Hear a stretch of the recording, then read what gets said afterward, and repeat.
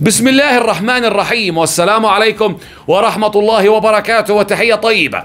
أما بعد يا أصدقائي انفجارات كبيرة هزت مدينة تعز الحبيبة تعز الحالمة. قبل ساعتين ثلاثة من الآن نتيجة انفجار مخزن أسلحة والكارثة أنه هذا المخزن موجود في طابق داخل مبنى سكني.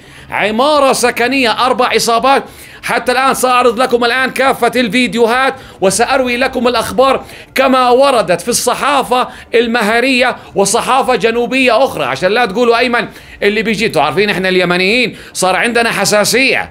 صرنا نتحسس نتكلم على أي منطقة أصحابها يتحسسوا وأقرأ لكم الأخبار بالنص. طيب تعالوا يا أصدقائي نقرأ الأخبار كما وردت نصا. دعونا نبدأ.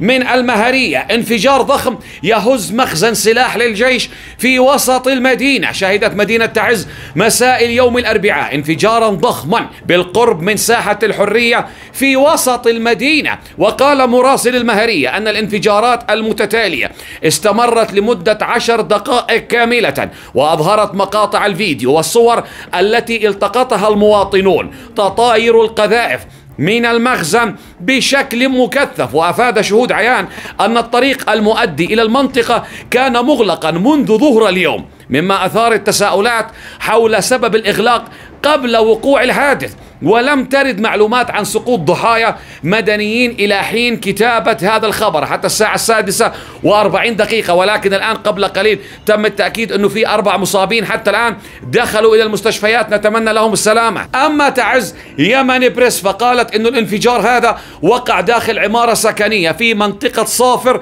ساحة الحرية. وسط المدينة وأكدوا سقوط قتلى وإصابة عدد من سكان العمارة بجروح بالإضافة إلى وقوع أضرار بالغة بالعمارة والمنازل المجاورة. جراء الانفجار وسط هلع كبير في صفوف الأطفال والنساء. إذا هذه ملخص الخبر حتى الآن. لما تقرأ الخبر طبعا حسب المنصة هي تبع أي طرف في البلد.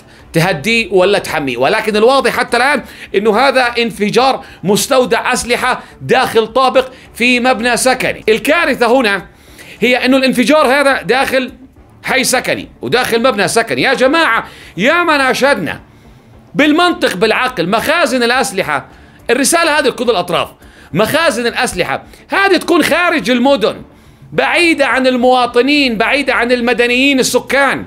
القواعد العسكرية هذه المعسكرات تكون خارج المدن. فاهمين إحنا إنه في أشياء موجودة من 20 30 سنة صعب تفككها.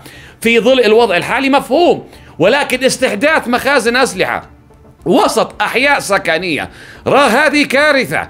العالم كله دول فيها قوانين ما يتبني معسكر إلا على بعد 300 كيلو متر من أقرب مدينة. عشان ما تعطي حج لعدوك انه يضرب مدنييك في وقت الحروب تشوف العالم شوف الكيان شوف روسيا شوف أوكرانيا شوف أمريكا شوف سويسرا. يبنوا ملاجئ نووية تحت الأرض لكل السكان.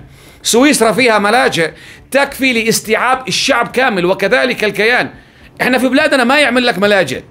للأزمات. ولا يسيبك في حالك. يجيب لك المخزن الأسلحة جنب راسك. بالتأكيد نتمنى السلامة لكل إخواننا وأهلنا وأحبائنا في مدينة تعز الحالمة. وإذا كان هناك ضحايا وفيات فنسأل الله لذويهم الصبر والسلوان. ونتمنى أن لا يتكرر هذا النوع من الحوادث. وإنه إن شاء الله بعد ما تنتهي الأزمة اليمنية هذه إنه الأطراف تقعد على طاولة ونشهد مصالحة لملم. كذا زيتنا في دقيقه نشهد خطة وطنية. فعلية بعد انتهاء حرب اليمن هذه بشكل نهائي إنه المعسكرات ومخازن الأسلحة هذه تنقل إلى خارج المدن. تمنياتنا للجميع بالسلامة أصدقائي في ختام هذه الحلقة هذه لكم مني تحية أنا أيمن القاسمي دمتم بود وسالمين جميعا.